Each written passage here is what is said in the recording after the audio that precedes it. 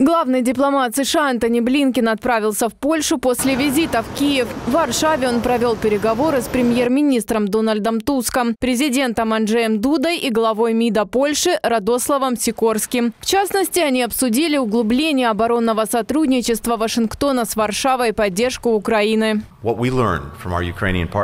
То, что мы узнали от наших украинских партнеров, послужит основой для дискуссии, которые мы будем вести с другими союзниками и партнерами в ближайшие дни и недели. И очень уместно, что мы начали этот разговор с нашими союзниками здесь, в Польше. Ракеты, которые... Как Запад мы должны продолжать поставлять Украине современные системы ПВО, а также, по нашему мнению, снять ограничения на использование оружия дальнего радиуса действия. Актуальность этого вопроса возросла после того, как США подтвердили, что Иран успешно поставил баллистические ракеты России. Как сообщило издание «Политика», ссылаясь на высокопоставленных американских чиновников, Белый дом готов ослабить некоторые ограничения на использование дальнобойного оружия, предоставленного Украине. Детали пока не уточняются. Нынешние переговоры между Вашингтоном и Киевом значительно поменяли тон по сравнению с теми, которые состоялись летом. И это сигнализирует о том, что администрация Байдена возможно, готова наконец согласиться на просьбы Киева и позволить украинским военным более решительно защищаться. Из публикации «Политико».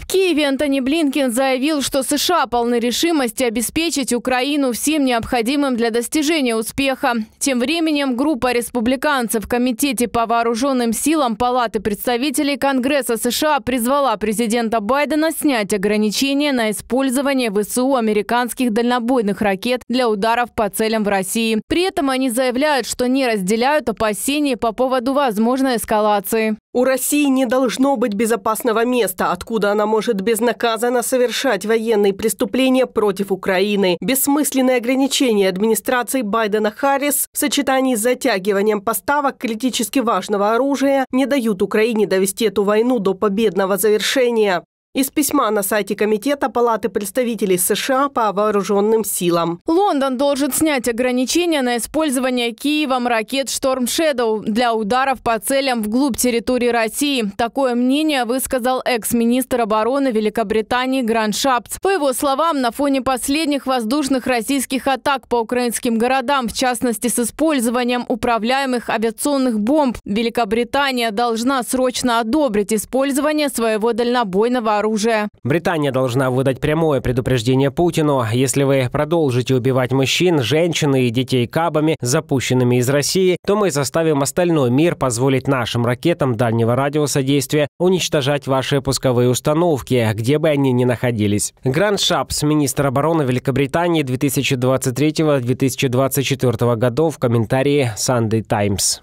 Дальнобойные ракеты «Атакамс» и «Шторм Шэдоу» уже поставляют в Украину, они применяются против российской армии, но не вглубь территории России. Их дальность до 300 километров. Поскольку у «Шторм Шэдоу» есть американские компоненты, от США требуется разрешение для их применения. По словам экспертов, речь также может идти о крылатых ракетах воздушного базирования производства США «Джасм» с дальностью 370 километров. Они пока не поставлялись Украине, но в американском американской прессе обсуждается такая возможность. Кристина Домбровская для телеканала Freedom.